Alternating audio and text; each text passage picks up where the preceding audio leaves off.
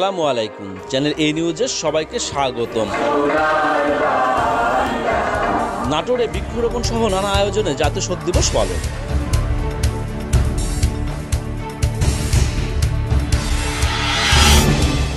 এবারে বিস্তারিত।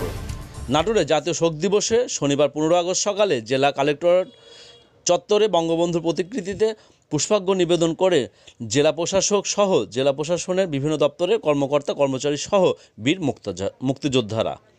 পরে কালেক্টরেট ভবন চত্বরে ডিসি পার্কে বৃক্ষরোপণ করা হয়।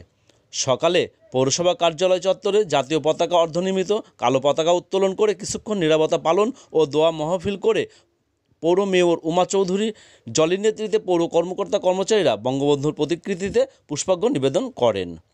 এছাড়া স্থানীয় সংসদ সদস্য ও জেলা আওয়ামী লীগের সাধারণ সম্পাদক শফিকুল ইসলাম শিমুলের নেতৃত্বে কান্দিভিটাস্থ দলীয় কার্যালয় চত্বরে জাতীয় পতাকা অর্ধনির্মিত সহ দলীয় ও কালো পতাকা উত্তোলন, বঙ্গবন্ধুর প্রতিকৃতিতে পুষ্পার্ঘ্য অর্পণের মাধ্যমে শ্রদ্ধা নিবেদন করেন দলের বিভিন্ন পর্যায়ের নেতাকর্মীরা। বঙ্গবন্ধুর প্রতিকৃতিতে পুষ্পার্ঘ্য নিবেদন শেষে পনেরো আগস্টের শহীদের, শহীদদের রোহের মাগফিরাত কামনা করে দোয়া ও মোনাজাত করা হয়।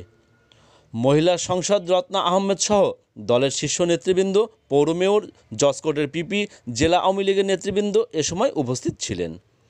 দুপুরে স্থানীয় সংসদ শফিকুল ইসলাম শিমুলের ব্যবস্থাপনায় দোয়া মহফিল সহ কাঙ্গালি ভোজের আয়োজন করা হয়।